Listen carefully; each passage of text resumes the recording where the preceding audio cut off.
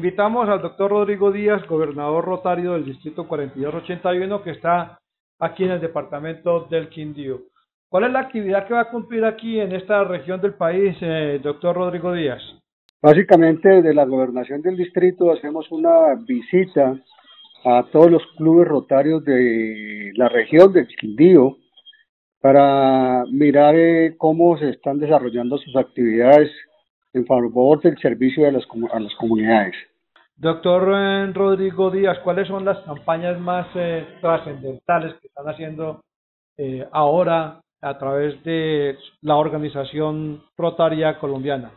Rotary ha sido líder desde hace más de 30 años en vacunación contra el polio. La campaña se denomina En Polionado o sea, erradicar la polio en el mundo. Llevamos 30 años en este proceso de eh, tratar de eliminar la, polio en el mundo y a la fecha hemos llegado al 99.9%, solamente dos países en el mundo, Pakistán y Afganistán, eh, tienen casos de polio actualmente.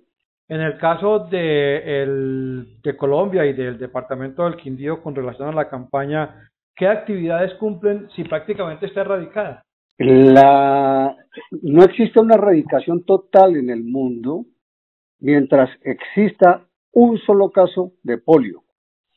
De hecho, hace exactamente tres meses se presentó una se presentó virus de polio en Nueva York que, que fue erradicado hace más de 20 años.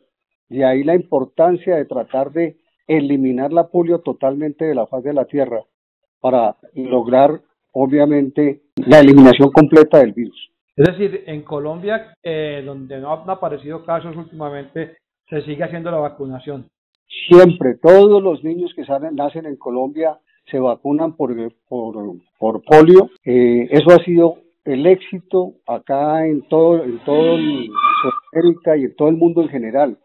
Eh, desde que los niños se vacunen, se evita el problema del contagio.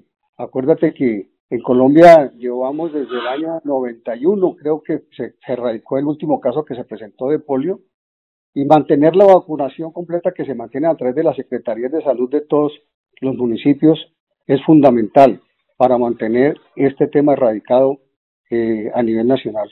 Finalmente, ¿qué otras eh, actividades y campañas se van a desarrollar o están desarrollando en la región y en el país en general, en el distrito que a usted le corresponde? Bueno, los clubes de los clubes desarrollan actividades eh, con apoyo a, ancianatos. Hay un programa de la nueva nueva área de interés que es el medio ambiente.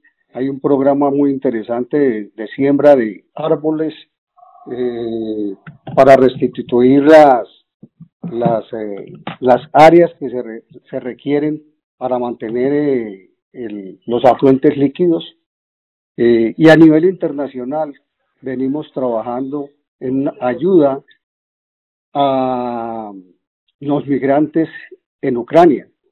Rotary ha invertido más de 15 millones de dólares para ayudar a los migrantes en Ucrania, estableciendo refugios, eh, suministrando ambulancias, eh, alimentación, medicamentos y aliviando la problemática de la guerra entre Rusia y Ucrania. Las funciones que ustedes cumplen en el caso del Quindío la hacen con más o menos cuántas personas.